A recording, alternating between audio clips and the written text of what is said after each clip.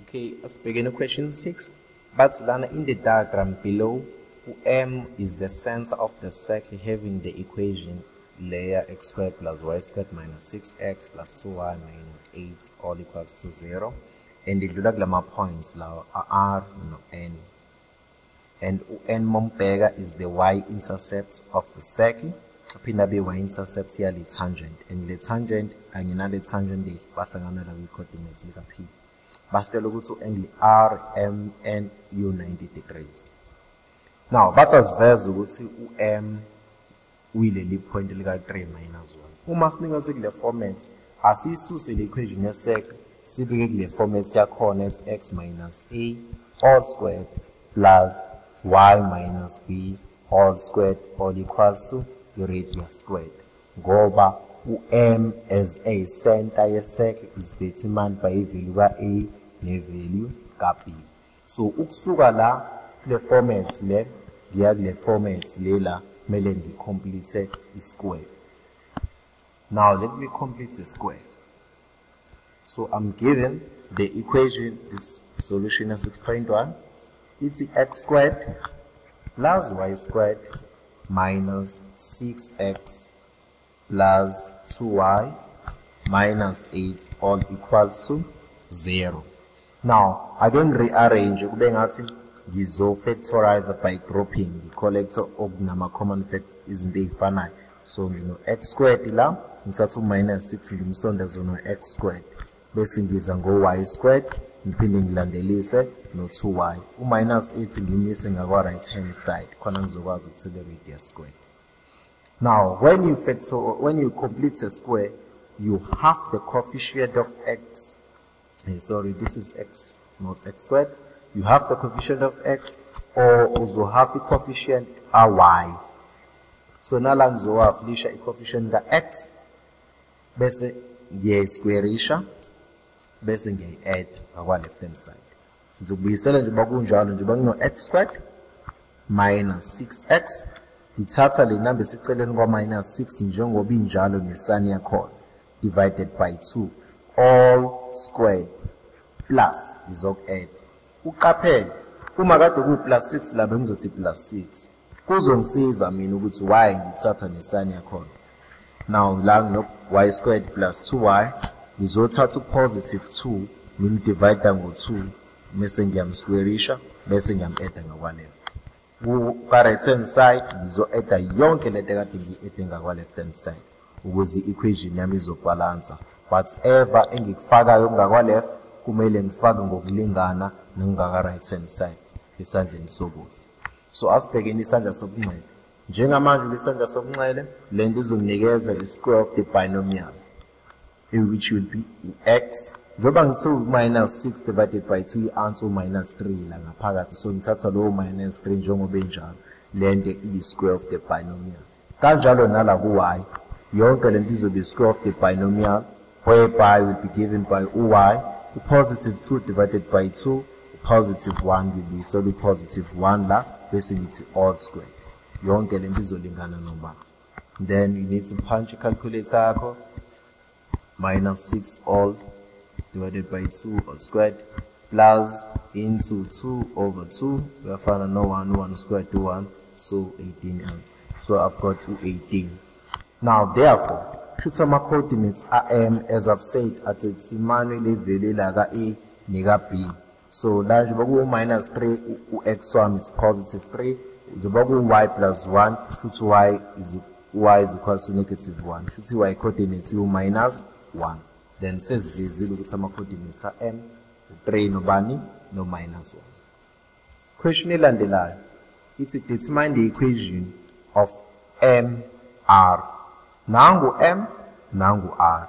U-m usunawo ama-coordinates akhona or usunikeziwe. Noma ungakwazanga ukuyithola ama-coordinates but you can do equation elandela which is 6.2 because utsheliwe ukuthi veza ama-coordinates a-m awu-3 no-minus usho ukuthi ama-coordinates a-m awu-3 no-minus 1 now uzokuthola kanjani kwe-equation since lo line wa-mr unqamula la kuma-y axis okusho ukuthi i-y intercept lela u-minus 4 sesiyazi ukuthi sesino-negative 4 as you see i-value ka-c.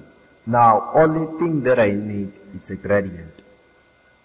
Ama-coordinates a-r u-0 no-minus 4 so 6.2 ama-coordinates a-r u-0 no-negative 4 ama-coordinates a-m siwatholile nanka la ngaphezulu. U-3 no-minus 1 so i can name la ngithi x1 la ngithi y1 la ngithi x2 la y2 just to find the gradient ka-rm noma ka-mr so i-equation ithi change in y over change in x then u-y2 wamuba ngitho u-minus 1 u-y1 ngathi u-negative 4 ngibuyisela lo minus lo wefomula x2 u-3 x1 u-0 then u-minus 1 neke negative 1 plus 4 will give me 3 3 divided by 3 i-answer yami positive 1 then therefore the equation abayifunayo u-m wakho u-positive 1 and u-c sithe ivalue ka-c wa-intercept yu-minus 4 then minus 4 iyona equation le for u-mr then u-6.3 bathi veza ukuthi ama-coordinates uh, that sorry. Bathi veza ukuthi u-q lo oyi-y coordinates lika-n ulingana no-2 minus p. And you were told ukuthi u-rm is, is, uh, is not perpendicular as such but it's perpendicular. Because bathi la i-angle ka-rm nu 90 usho ukuthi lama-lines lawa a-perpendicular le radius le ka-rm is perpendicular to i-radius ka-mn ngoba la ku-90 degrees. Kube ngawona u-90 then bingekebe lawo ma-lines abe-perpendicular so rm no-mn for 6.3 sithi gradient ka-rm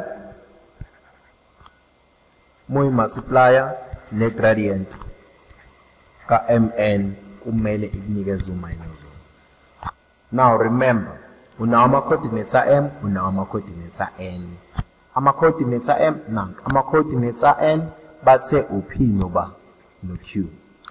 Now i-gradient ka-mr nayisitholile u-1 sengifaka u-1 la times i-gradient ka-mn anginayo but ithi change in y over change in x y2 minus y1 over x2 minus x1 yonke lento uma ngiyi-times alama-gradient kumele ngiyenze u-minus 1 now One times loop, yana loop, changing over, changing x. Oy2 I can say q. So example q minus y one, my coordinates are m. Or y2 the zochinjela kuzoba minus 1.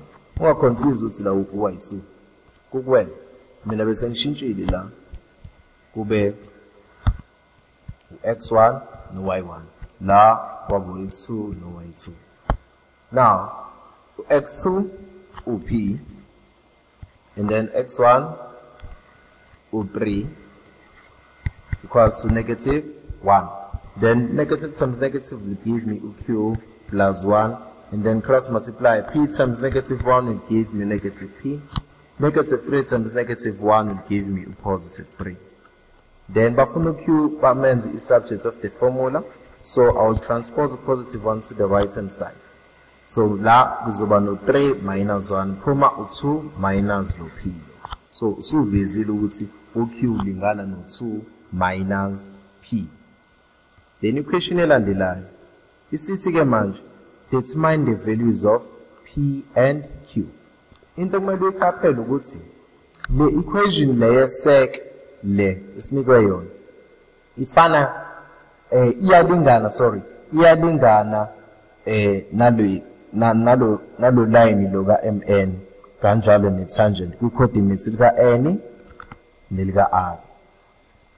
So uma kule equation le sec ngizofaka ukuthi uma ngabe u-x o-p u-y o-q ngabe kuzonginikezani khona. So now nginayo vele la ngiyayithatha le equation ethi x squared plus y squared minus 6x plus 2y minus 8 konke kunginikeza u-0 or ungathatha le bekade sesesimplifyile ethi x minus 3 all squared kanjalo kanjalo kanjalo. So i-choice yakho. Okay? So it's for 6.4 so ibithi x minus 3 all squared plus y plus 1 all squared yonke laa nto sithe ilingana nobani? No-18 now what i will do la khona khona u-x sithe u-p sengifaka abani mina lana faka u-p minus 3 all squared plus. La khona khona u-y u-q plus 1 all squared is equals to 18 engikwenzile la ngenza i-substitution i-coordinate lika-n ilu-p nobani no-q. Kule equation yani yeseke now ake ngivule lama noma ngangavula ama-brackets cause vele sengiyazi la ngaphezulu ukuthi u-q lingana no-2 minus p. Shuthi la khona khona u-q ngingafaka u-2 minus p. Then ma ngivula ama-brackets la ngizoba no-p squared minus 6p plus 9 la ngaphakathi u-q wami sengifaka bala u-2 minus p plus 1 all squared is equals to 18 thatholani kulethe ngapha awuleva u-p squared minus 6p and then la sinento esifana no-3 minus p. And then u-3 squared ubani u-9 3 times negative x times negative p would give minus 3 minus 3 minus 6p negative p squared negative p all squared would give me positive p squared equals to 18 uh, sorry la ngithe minus 9 minus 9 futhi uma ngithatha no-9 ngimletha ngapha kuzophinde kube umunye u-minus 9 then ngisala no-0 and then u-p plus p uzonginikeza u-2p squared.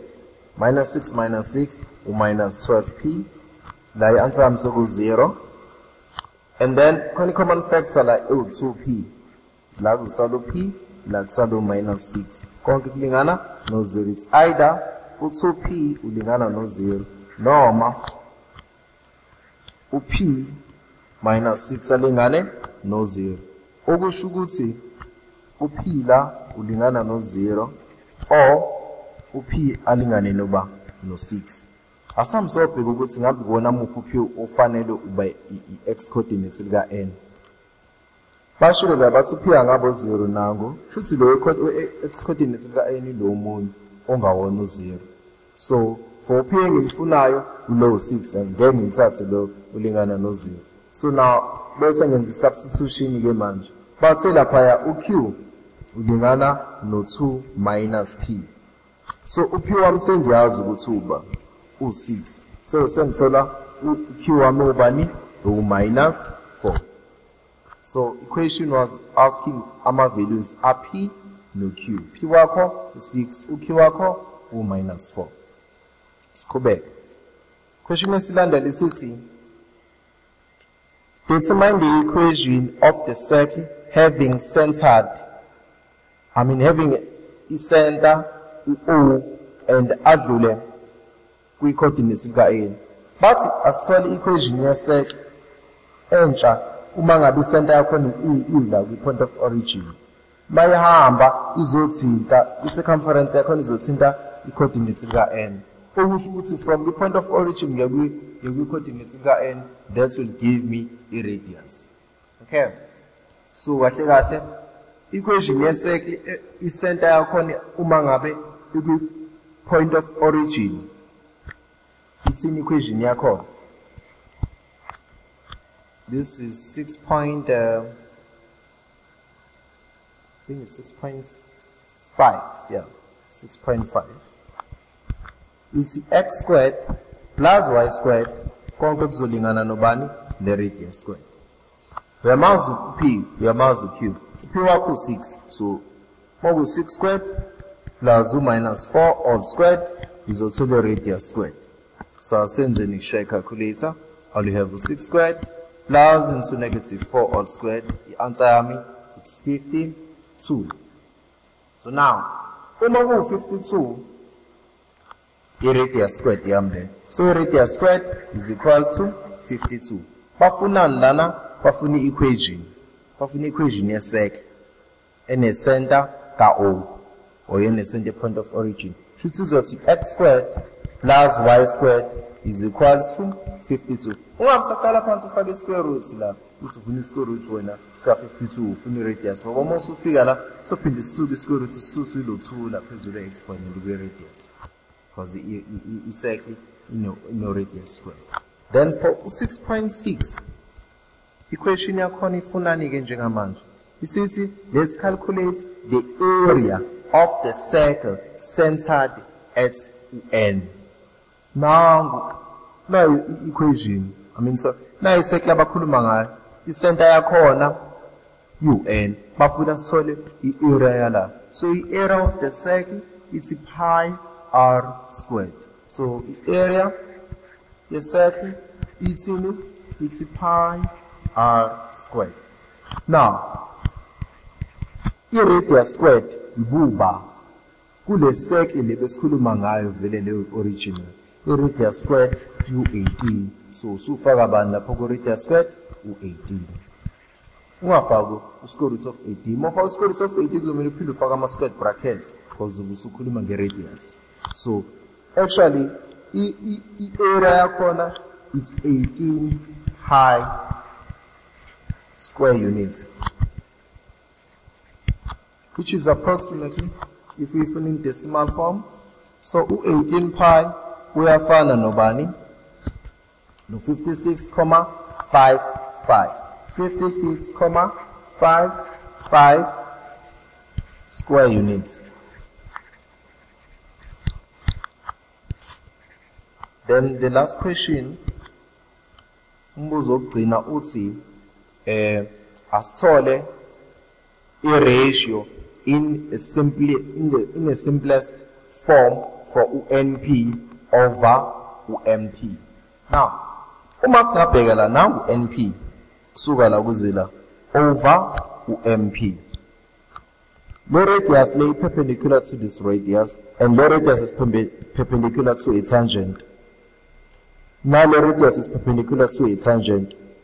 Sum of angles in a quad will give me what 360 shuthi ngalamele kube 90 90 90 90 90 now uma befuna i-ratio yalo over u-MP okusho ukuthi u-MN uzolingana no-NP aphinde alingane nalo nalo because lento isquare lento so kahle kahle ngine-square because lo line uyalingana nalo line kanti futhi ba-perpendicular wonke la ma-angle awo-90 shuthi square kahle kahle lesi. So le quad le so-identify ngokuthi square shuthi u-mn uyalingana no-np yokuqala. So u-mn ulingana no-np ngoba leya quad leya leya quadrilateral yini i-square. Now u-mn ube i-radius. I-radius ibu-square root of 18 so shuthi u-np kahle kahle. I-radius yala LSEC sithola ukuthi square root of 18 shuthi nala kuzoba square root of 18 nala square root of 18 nala root 18 shuthi uyobala i-distance yala ngingasebenzisa i-pythagoras theorem ngoba la kubani? Ku-90 uthola u-mp ukuthi uba okay? So usuyazi ukuthi u-np into yokuqala u-square root of 18 then therefore ukuthola u-mn I mean sorry u-mp that mp squared is equals to m is center n squared plus np squared. Futhi mp squared ulingana noba umn you know two square root of 18 all squared kanjalo no-np square root of 18 all squared. Then which means ump squared ulingana noba? No-18 plus 18 ozonginikeza bani? 18 plus 18 unginikeza 36 futhi u-mp uzolingana no square root of 36 which will give me 6 units. Uma usuwazi ukuthi u-mp uba then le ratio abayifunayo bafuna i-ratio ka-np over u-mp u-np sishilo sathi i-square root sika-18 u-mp samthola ukuthi ubani? U-6 so you can use i-calculator uthi square root sika-18 over 6 i-answer yakho root 2 over 2 answer yakho root 2 over 2 or you can even rationalize the numerator la. Times yonke indawo ngo-root 2 over root 2 then root 2 times root 2 will give me 2 over 2 times root 2 2 root 2 then the answer bakhansela ngisela no 1 over root 2 so i-answer yakhe ile nomile This podcast was proudly sponsored by PPR Education. Podcast Partnership Recognition.